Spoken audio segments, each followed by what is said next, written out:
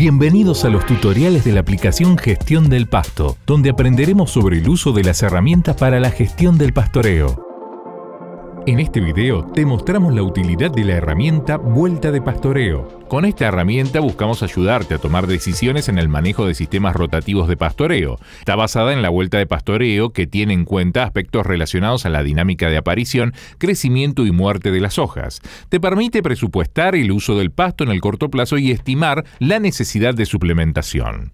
Como las demás, esta herramienta cuenta también con dos pantallas, una de parámetros y otra de resultados. También hay unas letras I donde podés cliquear y de este modo ver algunas ayudas sobre qué significan y cómo usar algunos de los parámetros. Comencemos con un ejemplo. Estamos en un establecimiento que debido al clima y a las forrajeras que utiliza, la vuelta de pastoreo en las distintas estaciones del año es la siguiente.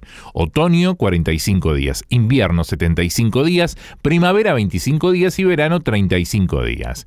En este caso, en una de las ayudas hay un link hacia una página web que te permite estimar la vuelta de pastoreo para diversas especies y toda la República Argentina. Hoy es 9 de septiembre de 2024 y la plataforma de pastoreo tiene una superficie total de 100 hectáreas. En esa plataforma se alimenta un rodeo de 450 animales que tienen una capacidad de consumo de 9 kilos de materia seca por animal por día.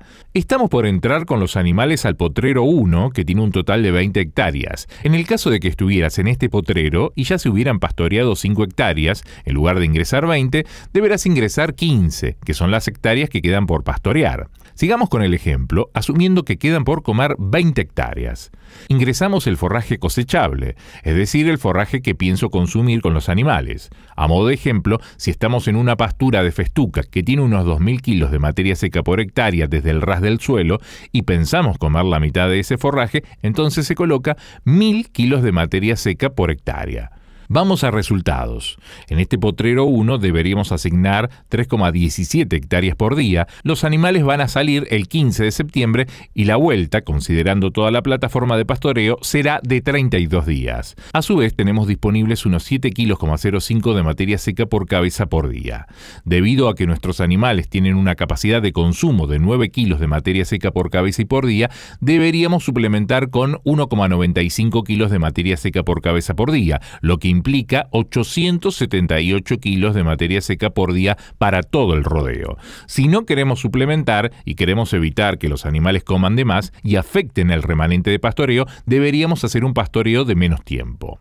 Volvemos al campo el 15 de septiembre. El potrero 1 se está terminando y los animales deberían ir al potrero 2. En la pantalla parámetros ingresamos los datos que corresponden. 15 de septiembre, potrero 2, 25 hectáreas y 1.100 kilos de materia seca por hectárea cosechable. Vamos a resultados y vemos que en este potrero 2 deberíamos asignar 3,54 hectáreas por día. Los animales van a salir de este potrero el 22 de septiembre y la vuelta de pastoreo será de 28 días. A su vez, el pasto disponible por cabeza es 8,65, muy cercano a 9 kilos de materia seca por cabeza y por día. Por eso, la necesidad de suplementación se reduce a 0,35 kilos de materia seca por cabeza y por día y 158 kilos de materia seca por día para todo el rodeo.